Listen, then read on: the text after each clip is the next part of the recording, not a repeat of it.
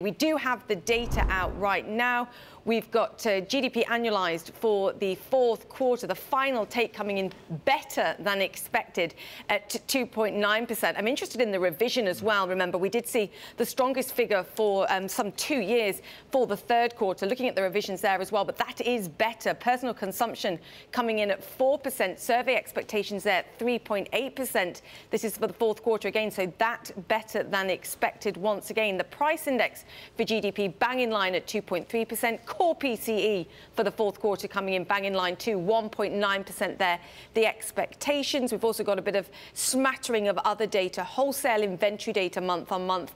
Expectations there half a percent. We came in at 1.1%, so a bit higher month on month in terms of the inventory data. But I'll swing it back to what we got for that annualized figure for the GDP. The final take there stronger than expected, coming in at 2.9%.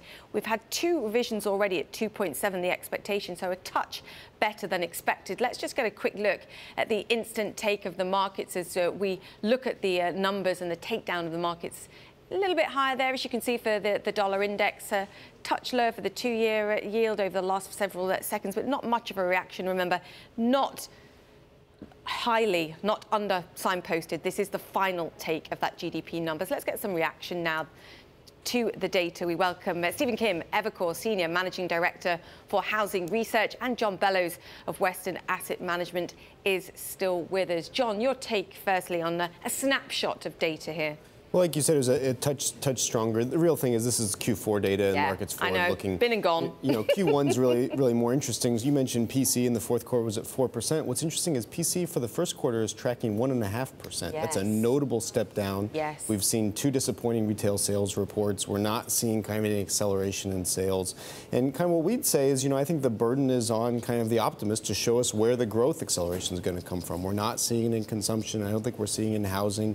You know, you see trade deficits wider. That's that's going to be a drag. And so, you know, we, we continue to be of the view that a lot of that optimism that you're hearing from, from people in the market is much more in the forecast than in the data. And, yes. you know, we really want to see it in the data before, before, we, before we're convinced that yes. it's a real thing. Stephen, how much of this is just seasonal? As I recall, a year ago right now, we were having a similar discussion. Oh my goodness, the first quarter is really looking weak. And then it came through in the other quarters. For some reason, first quarters are coming in on the weak side. Well, there's weather factors that obviously affect housing as, uh, as, as well as just some seasonal adjustments that are quite large in the winter because your overall data set is relatively small uh, in terms of sample size. I do believe that the overall underlying strength in housing is stronger than what you've seen from some of the data. We uh, noticed that in, for example, uh, since December, the vast majority, about 80% of the data points on housing that we track have come in uh, worse than expected. But uh, that's not matching what we're seeing on the ground, and it's also not matching what uh, Evercore ISI's survey of home builders is showing either. So in general, I believe that the housing demand is reasonably strong and it's going to rebound.